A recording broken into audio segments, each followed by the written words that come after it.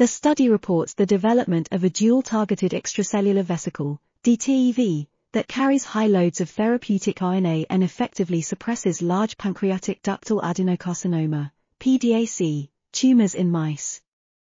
The EV surface contains a CD64 protein with a tissue-targeting peptide and a humanized monoclonal antibody, which allows for specific delivery to the tumor site.